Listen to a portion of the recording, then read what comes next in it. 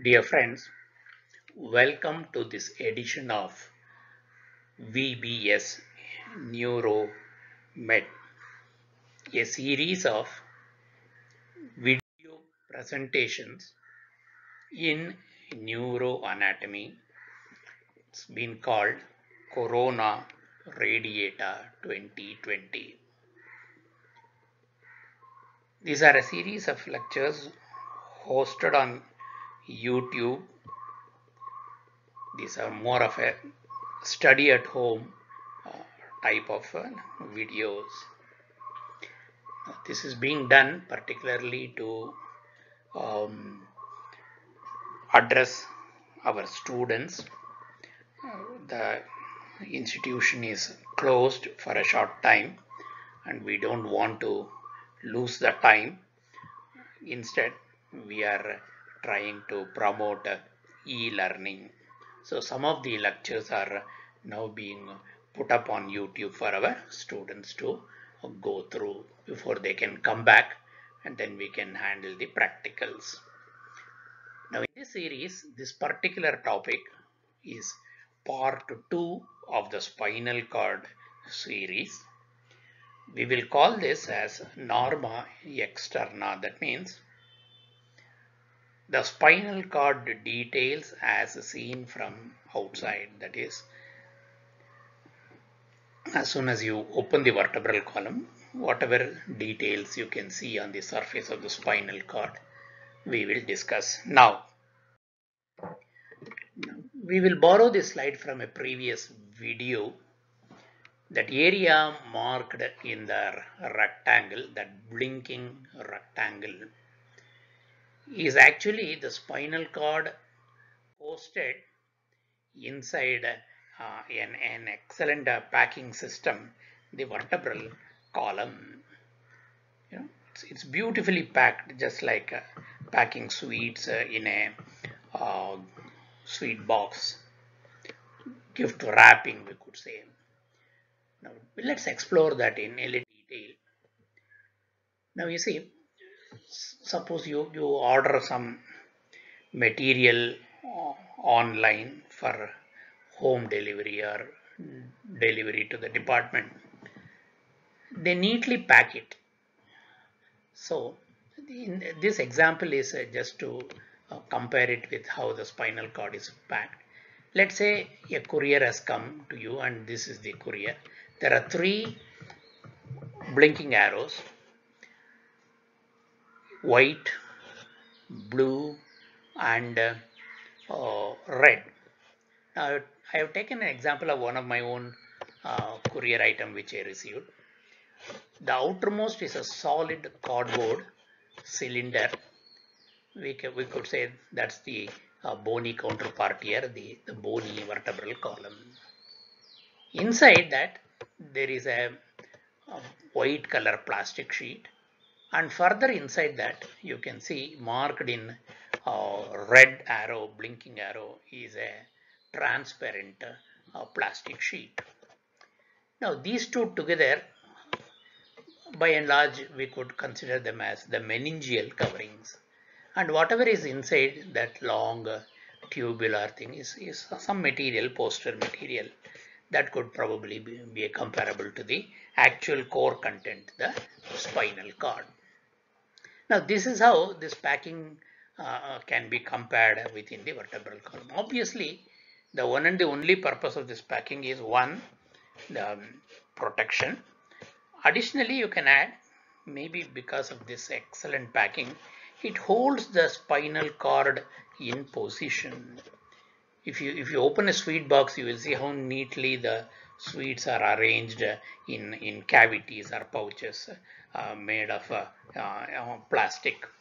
Same way here also. Now, this is how the vertebral column can be viewed. There are two components which the vertebral column holds. The spinal cord, its meninges and other immediate uh, structures like vessels and nerves. And the second one is the spinal nerves. The spinal nerves exit from the vertebral canal through the intervertebral foramen marked here as a the red arrow. Now, this can be compared to the windows of a tall uh, building, one below the other, the windows, just for a comparison. Like that, popping out through these windows are the spinal nerves. Now, finally, let's remove all the outer structures. Let's go directly to the spinal cord. Here is the area where only the spinal cord is shown. Ultimately, we go back to the previous video or the, the previous part one. There are two components we need to consider, the spinal cord and the spinal nerves. Next, here is a wet specimen. This is a wet specimen of the spinal cord. Not only the spinal cord is there in this photograph, you can also see wrapped around the spinal cord are the meninges. I have by and large called it as meningeal coverings. Actually, there are three components, dura, arachnoid and pia. We will we'll see it in due course. Now, this is a specimen of the once again wet specimen. You can see there are two sets of arrows, a pair of white non-blinking arrows and a set of blue color blinking arrows. Now, the white arrows are at the upper end of the spinal cord and as you go down, uh, watch the spinal nerve orientation. At the upper end of the spinal cord marked in white arrow are the spinal nerves. See the orientation, they are more or less horizontal.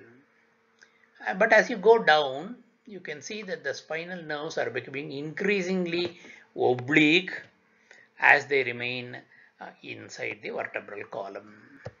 This is because developmentally the length of the vertebral column is much more than the length of the spinal cord. Caudal pairs of spinal nerves need to go through increasingly longer distances till they reach their corresponding intervertebral foramen. As a result, you will expect to see that in the lowermost part of the spinal cord, namely the lumbosacral region, uh, there will be a virtually a tuft of uh, individual spinal nerves. Now this we could call it as the cauda equina. This we could call it as a cauda equina. By the word cauda equina, it, it's like uh, the horse's tail. It resembles a, a horse's tail. Actually, when you, when you look at it in, in fine detail, these are not the spinal spinal nerves itself, but they are the spinal uh, roots, the, a mixture of anterior and posterior spinal roots uh, just before they are attached to the spinal cord. Next, this is an anterior view of the spinal cord. I have stripped off the dura and pushed it to the corner. You can see the label there. But now concentrate on the flashing arrows. There are two sets of arrows. The lower one is blue blinking arrows and the upper one three in number or the uh, white colored arrows. Both of them refer to the spinal nerves that is the anterior root or the ventral root of the spinal nerves as it is attached to the spinal cord.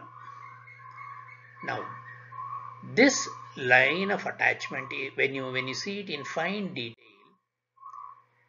you can see that flashing circles blue white flashing circles these spinal nerves are not attached directly but they have broken up into many rootlets and these are then attached to the spinal cord. These are then attached to the spinal cord. They are the rootlets. In this case, they are the ventral rootlets. Next, Exactly along the line of attachment of the ventral rootlets marked here by the flashing line, blue-white line, is the anterolateral sulcus of the spinal cord. That's the place where the ventral rootlets emerge from the spinal cord because they are motor uh, in function. They emerge from the uh, spinal cord along this line. A shining uh, central line is there marked by blue arrows Underneath that is an important artery, the anterior spinal artery. Now that line is the anterior median sulcus containing the anterior spinal artery. That's a midline structure, a sagittal structure. Next, just like we have an anterolateral sulcus, a pair on either sides of the midline in the front, we also have posterolateral sulcus, one on either side on the back of the spinal cord. Here the dorsal rootlets are attached. Here the dorsal rootlets are attached. These are the rootlets bringing in sensory information from various parts of the body into the spinal cord. Next, although not clearly demonstrable in a specimen like this, a, a portion, you can see the blinking dotted lines, a portion of the cord with its own set of ventral rootlets and dorsal rootlets is called a spinal segment. There are 31 pairs of spinal segments and correspondingly there are 31 pairs of spinal nerves. Now for reasons mentioned in the earlier discussion, namely the discrepancy in the growth uh, of the vertebral column versus the spinal cord, the lower spinal nerves are longer than their upper counterparts. And that is what forms the cauda equina, which I, which I showed you. I just shown it on a, uh, a model particularly at the lower end. Remember, they have to come all the way from the upper lumbar vertebral area down to the sacrum and lowermost part of the sacrum. It's a long distance they come uh, before they uh, exit from the corresponding intervertebral foramen. Now, once again, another good wet specimen. Between the dorsal rootlets and the ventral rootlets, a piece of pia extends laterally and attaches into the dura. Now that is the ligamentum denticulatum, a, a fine, shining, highly transparent, teeth-like membrane. Teeth-like membrane. Now that's the ligamentum denticulatum. This ligament technically attaches the spinal cord directly to the dura. That means the meninges are not only wrapped around the spinal cord, there are a lot of these pairs of uh, uh, ligamenta denticulata which make sure that no part of the spinal cord can move away from its anchored location either vertically or horizontally. It's just not possible. That means it is neatly anchored and the whole thing is uh, uh, floating in the uh, CSF of the uh, subarachnoid space. This is yet another photograph where you can see the triangular ligamentum denticulatum. Now, although we have covered the general features, topographic details, in a wet specimen, we will try to remap what we learned so far on a cross section of the wet specimen of the spinal cord. This again is borrowed from the previous video. The H-shaped uh, central area we had called it as gray matter and the area all around it we had called it as white matter and we had just left it at that. We are yet to introduce terms like anterior horn, posterior horn, etc. We'll, we'll do that in the next few videos. But the point I want you to catch is we need to identify all the structures which we just now saw on this cross section to the extent possible. You see, there are four items here. An anterior median sulcus, a posterior median septum, remember posteriorly it's a septum, and on the sides, both sides, an anterolateral and a posterolateral sulcus. The anterolateral and posterolateral respectively, the um, ventral and the dorsal rootlets, that's the point where they attach to the spinal cord. I told you in the earlier discussion that the anterior median sulcus at that point which was shown in that photograph contains the anterior um, spinal artery. Correspondingly, the posterior spinal arteries are located in the posterolateral sulcus. Next, meningeal attachments to the surface of the spinal cord. The pia mater is a membrane which is virtually plastered to the spinal cord everywhere. It hmm. dips in hmm. all the areas and absolutely it, it is it is a part of the surface. The reason is if you remove the pia, if you, we can tear it, you can use a forceps and tear it. If you tear out the pia, all the blood vessels going into the substance of the spinal cord are torn. As a result, pia can only be shown in situ on the surface of the spinal cord. That's why I put it as a flashing uh, dots or uh, dotted circle. Next, around the pia is, as I showed you in, in the earlier photograph, a very transparent, very clear membrane called the arachnoid. Virtually looks like plastic paper or a butter paper, transparent butter paper. Shown here in red, white dotted line, dotted circle is the arachnoid mater. In between the pia and the arachnoid is the subarachnoid space and there the cerebrospinal fluid is in a dynamic circulation. Next, marked now in thick uh, solid line that is the a solid circle is the dura mater much much thicker than the other two and uh, pearly gray in appearance. Next, flashing in green or the on, on both sides in between the dorsal and the ventral rootlet attachment that means midway between the anterolateral and the posterolateral sulcus is the ligamentum denticulatum. It is an extension of the pial membrane across the arachnoid, across the subarachnoid space, then going beyond that to be attached, uh, goes through the subdural space and finally is attached to the dura. Ligamentum denticulatum.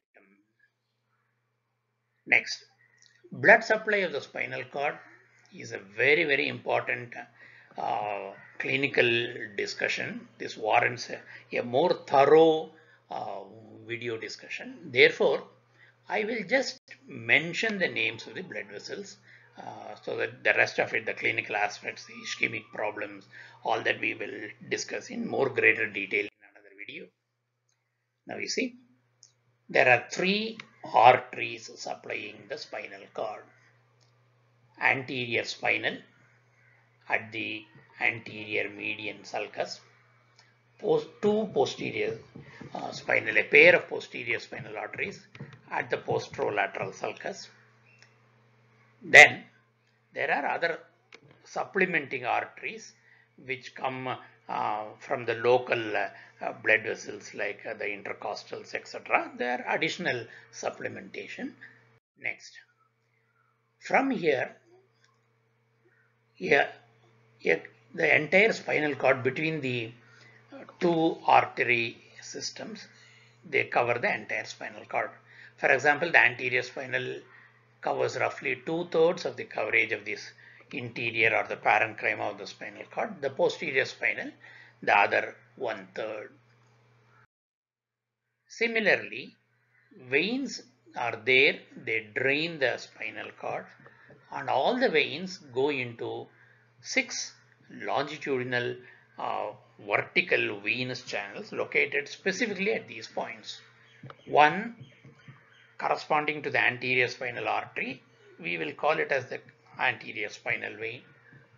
Exactly at the posterior end, uh, where the posterior septum begins, the posterior spinal vein and totally four in number, in other words, two pairs, a posterolateral and an anterolateral pair of veins. Totally that makes it six venous longitudinal vertical channels that are located on the surface of the uh, spinal cord. All the venous drainage, venous blood drains into this system of veins.